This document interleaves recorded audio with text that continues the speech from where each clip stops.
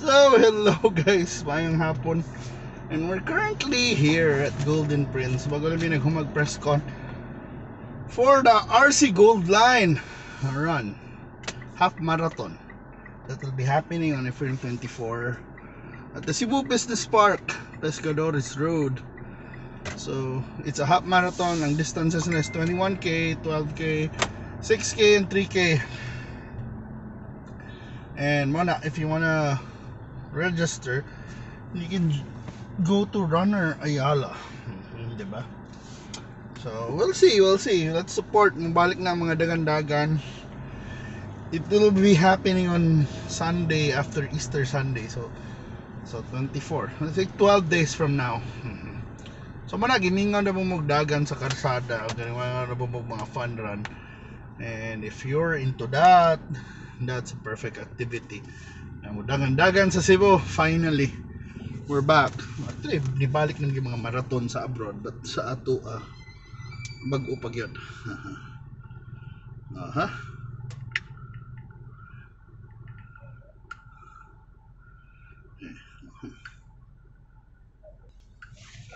Mhm. So yes, this is, you know, Gorordo Avenue na ta dire pero musud ta diri padung Kings Road, padung sa Tourist. Tanawa, grabe na kayong grabing uwan but you know, basa kayong daan. Pero mo na, lampi gini idagan ani panahon na. Actually, a perfect gini nga dagan dagan rong summer man ta pasingot, paniwang. Um, wala pa pa kondisyon sa lawas. Oh, so nindot pa idagan sa ngani na oras ba kaning ay kaning ngani ka bugnaw bugnaw mo gid ron panahon but pero mga na na running is like one of the best um you know workouts. This is its cheapest. All you need is a good shoe. Some some even run without shoes. Oh, di ba chinilas iniil so mo gini pinaka yeah, cheapest form of working out running. Plus kuan pa gina siya it's a good aerobic exercise it builds up stamina plus why not? not only it builds up stamina it's also um kuan sa ah maka-improve na sa atong kuan burns fats ah, so yeah, if you're into that, yeah, let's run. Let's run once again. Let's support this recovery run.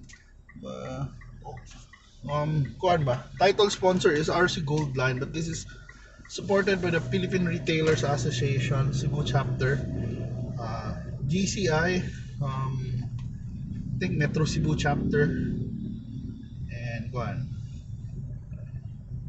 And na. And we will find out more sponsors, especially kina mga cellphone partners, kina mga mga RC Good Line na kuan na na ni mga raffle ba, mga mga prize sponsors. So mana.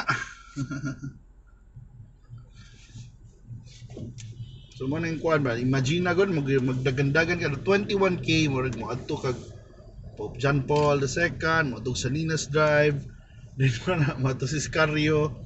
Oh, dire padong Fuente. So marang interesting. Mating magian ni nadan sa dagan-dagan niya dito sa Robinsons. Ay, matubli kag kulon ana oy. Yan na Robinsons na. Going back to Ayala na. So lingaw. And I think dagan kay excited na. So if you have friends na runners, uh, please, please inform them. Uh, supportan ni na run it's a short window sa registration. I think one week run registration. So until Wednesday the next week. But it, I mean, registrations normally include singlets and as mga medals. And I don't think um, uh, you don't join runs for the singlets and medals. Maybe for the fact lang na shows that we're back, we're back on the road. We can run again. I think that's a big, big achievement already for for all of us. Diba?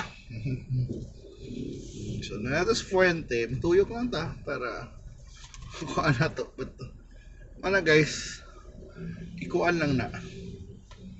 Na di man ina na we can run again. And hopefully by by by that time also April 24 hayag na ang hayag na ang kalangitan. Hmm, daghan kayong mga kandidato by the way. So uh, expect to see more of them on our page on our blog.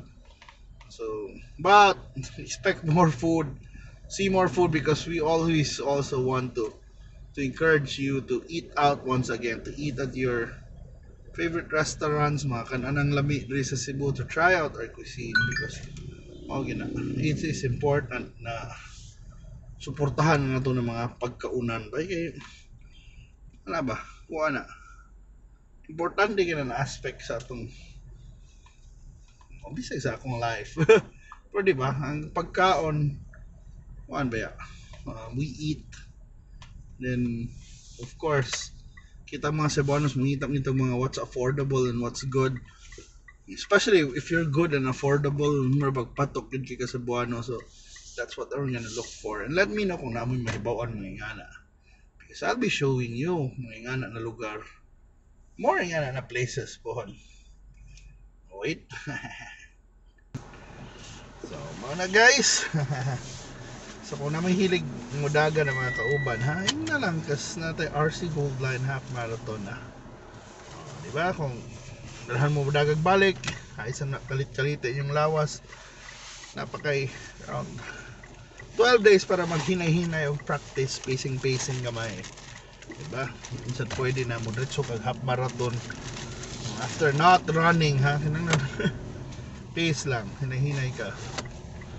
Although para sa uban, maybe kung bata-bata pa ka ng half marathon sa sa yunon ra, but imagine that's 21k. Mga the best ones ana mga 1 hour. Let's say 1 hour and a half. Mga good ones. Oh, kung mahuman na mo below 2 hours, may may sad ka, kuha na ka. Nindot na na. And cut off nila is 3 hours 30 minutes. So mo na. Kuha na lang na nimo. Ay, kuan. Uh, hindi pa ninyo kaya ti mag half marathon karon naman sa noy.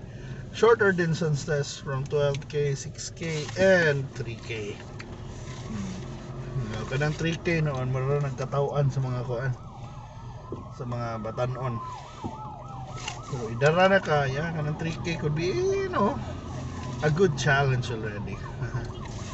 So mana this is to support also the economy na. Mura pag hinay-hinay nagbalik tabang tas recovery sa mga kumpanya.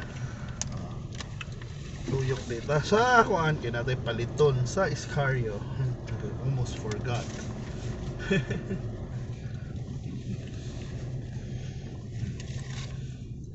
So ano na yung 20 menu circle ni tuyok ta? And then we're going towards Cebu Provincial Capital. Yeah. may natutong trip dito na pita so beautiful king Cebu no Mhm. Nindot kay idagan. so pero nindot kay idagan with your friends guys. So mana I encourage you to join the RC Gold Line Half Marathon. Basing magkita-kita rata dito. Although challenging because this is gonna be the first you know, fun run ever na di na virtual na kalabang pwede na daghag tao but I don't know unsay rules pero I think inahan mo mag-mask kami na sa starting line but yeah, vaccinated. Unta sa kay kuan ba? I don't know if kids are allowed so we will find out um, soon about anang mandate about kids ba? I mean how young can join kana bang Sabay uban magdag mga ginikanan da doon lang mga 3k sa yun ra kay nas batang gamay. Ayan, Sabay kuan ba? Para mahimo ning a family affair Although mo na, pwede mo may magpugong tingin sa mga bata pagtanaw ba nas finish line. Hindi naman bawal mo gawas. Hmm. Pero kung wa pa mo na na vaccinate, especially ka ha 5 to to kuan ba 5 and above. O vaccinate na na eh. Oh my, yan sa so, yung gilangan-langanan. Di ba? Tabangi itong country kung wa pa mo ka-vaccinate, wa pa ka boosters, pagpa-booster no, tagaan kita vaccines ko no, expire. So, kaysa naman masayang na, na labayran na ba tingin na, Oh, di ba? I ato ning ko anon. atong ato nang gamiton. So far so good naman kami uban na iban na baksin na nagkatulo. Okay naman mga tao man na zombie so far. Ha? So manang Cebu Provincial Capital si Gwen Garcia and the announcement today is her One Cebu party will be supporting BBM Sara. So ilang gidit si Isko. But Pablo John Garcia will remain with Isko, will campaign for Isko. So, buwag-buwag sa sila kuno karong eleksyon na ni ang mag-isuon na Garcia. Spitahay na lang ta, di ba? That's a kuan. That's a big development also in Cebu. We'll see if they can carry Marcos in Cebu. Yan, daghan pa ng mga kuan day, mga events niya pohon na mga mga Marcos loyalists mo rin rin mga ganun mga team BBM mga but daghan mag mga parallel groups I don't know ano na daghan kay mo ba da nila. Say maglibog na noon tan unity natin.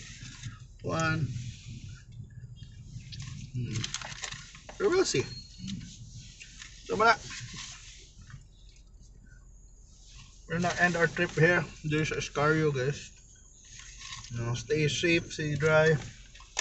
Ayo ayo mo. And mana dagan-dagan na mo niya. And let's support mga fun runs let's support our retailers. Ato mga kananan especially the local brands mga eateries padayon to sa tong recovery from you know from Odette from Omicron from um, yung mga bagyo-bagyo karon so kuan nga na.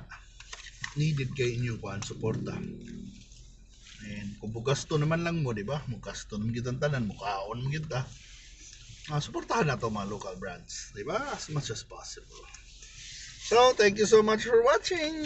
And of course, kung mananaw sa daymog mga YouTube, ay sa Kalimti Town ang mga kuan, mga local, local creators, local pages, local mga vloggers. Kaya mo na. Because they need your views as well. Yung like, follows, and share will mean a lot to them also. And thank you so much for watching. Bitaw.